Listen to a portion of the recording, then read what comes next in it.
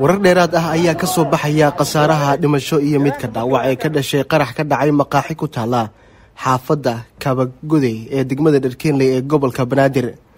Ugu yaraan hal ruux oo lagu sheegay inuu askari ahaa ayaa ku dhintay. Saddex kalena dhaawac ayaa ka soo gaaray qaraxan oo sida goobjoogo uu sheegay ahaa miino lagu aasay maqaaxida oo inta badan ay yimaadaan. Askar ka tirsan ciidanka dowladda wuxuu intaasi ku daray in ciidamo ka tirsan kuwa ammaanka ay gaareen halka uu qaraxa ka dhacay islamarkaana ay sameeyeen howlgallo ammaanka lagu xaqiijinayo inkastoo aysan jirin cid loo soo qabtay.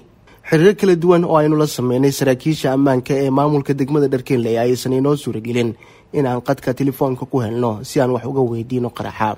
Ilaa haatan ma jirto cid sheegatay mas'uuliyadda qaraxan ka dhacay degmada dharkeenley ee gobolka banaadir balse weerarada noocan ah ayaa inta badan waxaa mas'uuliyaddooda sheegta ururka al-shabaab. Si kastaba qaraxan ayaa imaanaya maalin uun kadib markii dagaalyahano ka tirsanaa al-shabaab ay weerar ku bilowday qaraxyo ay ku qaadeen dhismo ku yaalla degmada cabdilcasiis halkaasi oo ay ku dileen in ka badan toban qof.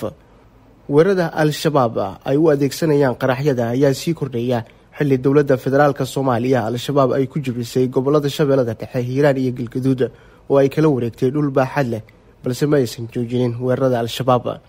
Mid ka mid a qaraxyadii ugu dambeeyey ee ka dhacay magaalada muqdisho gaar ahaan waddada jaalasiyaad ayaa reebay saameyn aan wanaagsaneyn kadib markii uu galabtay. Nolosha aabe konton iyo shan sano jir ahaa kaasi oo uu xamaalan jiray carruur uu dhalay oo tiro ahaan gaarayay labaiyo toban oo mid ka mid a uu ku jiro xabsi ku yaalla dalka turkiga. Zakari axmed muuse t v-ga shabeelle muqdisho